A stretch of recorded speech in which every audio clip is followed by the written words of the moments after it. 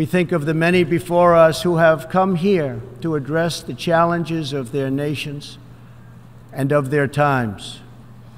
And our thoughts turn to the same question that ran through all their speeches and resolutions, through every word and every hope.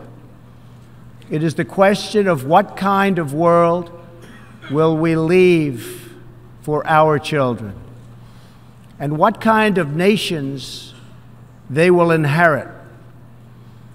The dreams that fill this hall today are as diverse as the people who have stood at this podium and as varied as the countries represented right here in this body are.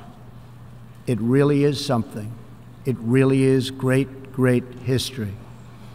There is India, a free society over a billion people, successfully lifting countless millions out of poverty and into the middle class.